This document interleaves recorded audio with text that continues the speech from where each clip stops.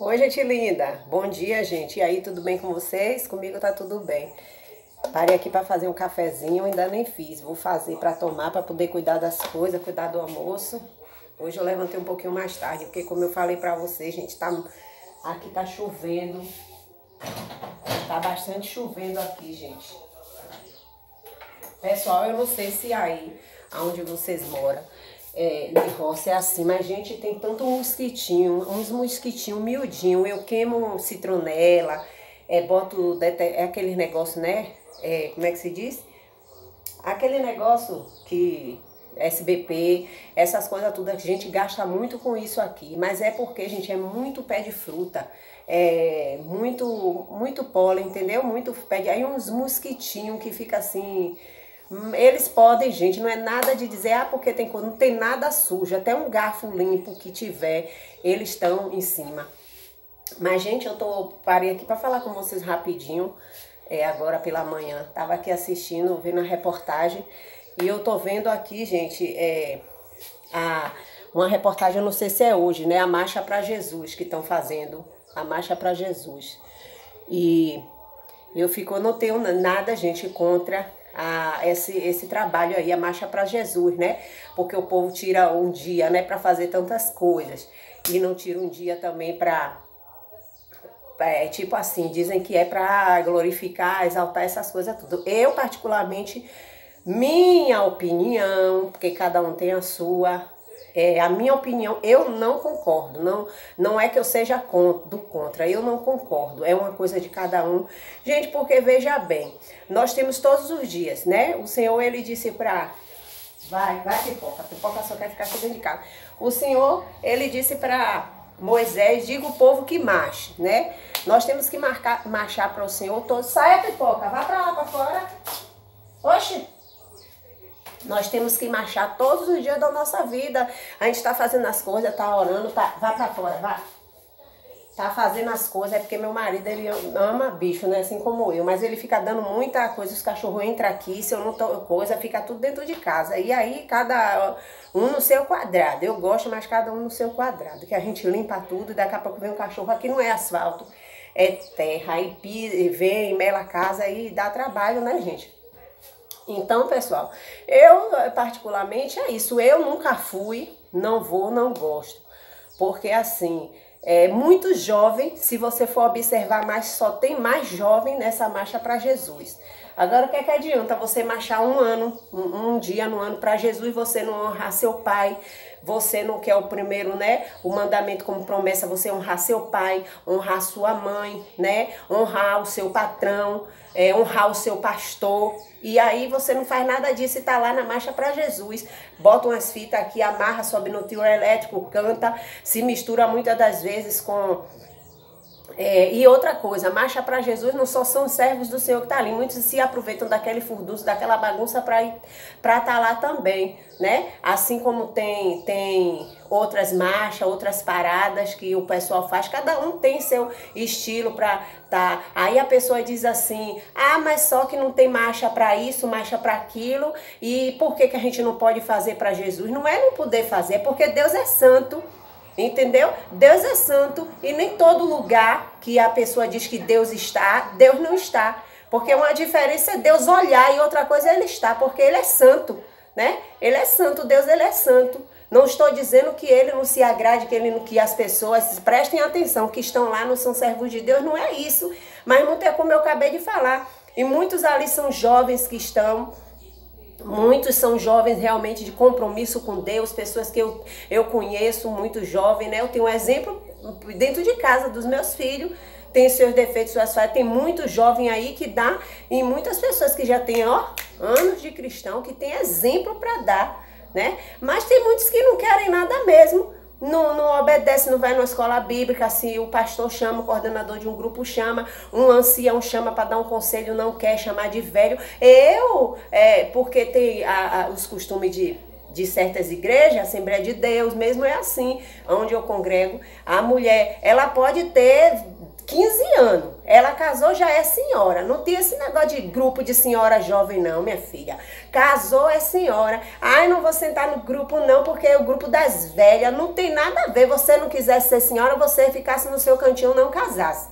A mesma coisa é o jovem. Ah, eu tenho dizendo, meu filho tá, tá com 20 anos, 22 anos. Já é um senhor. A minha nora, 18 anos, casou agora. Esse casamento que, ele, que eles casaram cedo, porque namoraram, ficaram juntos, dormiram, aquela coisa toda, e é uma coisa, eles se amam, eles casaram, né? Porque muitos criticam, ah, porque não sei para que esse casamento cedo por causa de igreja. E os que já têm mais de 30 anos aí, orando, fazendo as coisas erradas, não quer um compromisso. Casamento, gente, não é só um papel, não. Casamento é uma convivência. Entendeu? E se você convive bem, por que não você não assinar o papel? Se o papel muitas das vezes é uma coisa que não quer dizer nada, então por que não assina? Entendeu? Sabe por que não assina? Porque não quer compromisso, não quer se sentir preso. Né? Ah, mas casamento, para mim, claro que é a convivência, porque muitas pessoas têm um casamento e no papel e são infelizes, entendeu? Mas é uma garantia para você também, mulher, certo? É uma garantia para mim, porque embora a pessoa que convive junto há muito tempo separou, tem os mesmos direitos, mas é como eu estou dizendo, se é uma coisa que todo mundo diz que não tem, ah, não tem importância nenhuma, não sei para que esse papel. É, é a convivência. Se é um simples papel, então só é chegar lá e assinar e ficar tudo bem. Agora sim, tem marido que não, não quer, a esposa tá aí lutando, oh, bem, vamos casar, minha filha, depois a gente casa, vai tendo paciência com ele, vai orando, vai pedindo graça. Se ele tá te honrando, te, te obedecendo, te, te obedecendo, que eu digo assim, é, ajudando, Entendeu? Você tá sendo uma mulher submissa, não é uma subescrava. Aí dá tudo certo. Mas também não é porque você, às vezes, a mulher cristã, o marido não é, quer que arrancar o homem pelo pescoço para levar para a igreja. Não é assim, não, gente. Não é assim, não. E também se é uma mulher de Deus, que se diz de Deus, está aí dentro de casa tomando porrada, apanhando, né? Ah, eu vou orar que um dia Jesus liberta ele. Então fique aí apanhando a vida toda, fique aí sendo traída, fique aí passando por certas situações. Tem coisas que a gente tem que tomar atitude na vida, né? Mas há um perdão, há um, um conserto para poder tudo se organizar.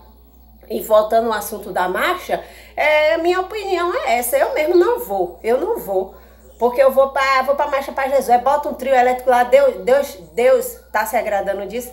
Aí tá olhando lá, lá, ó. O meu servo lá. Não obedece o pai, não honra a mãe, não ajuda, não lava nem os pratos para ajudar. Que Deus não tá falando assim. Eu tô dizendo um exemplo, né? Que isso não tem nada disso na Bíblia. Mais um exemplo.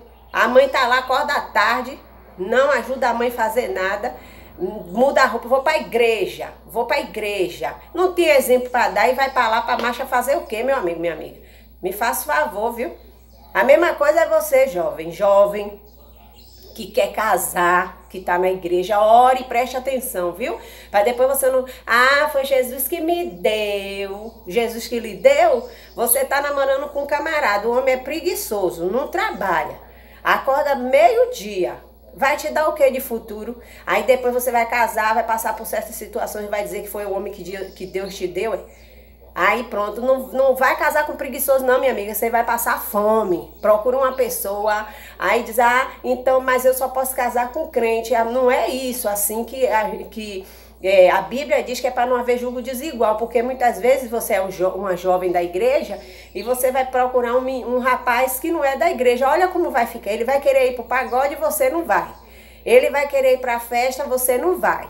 Né? Porque não é o certo, você ir. Se você escolher um caminho, você tem que seguir aquele.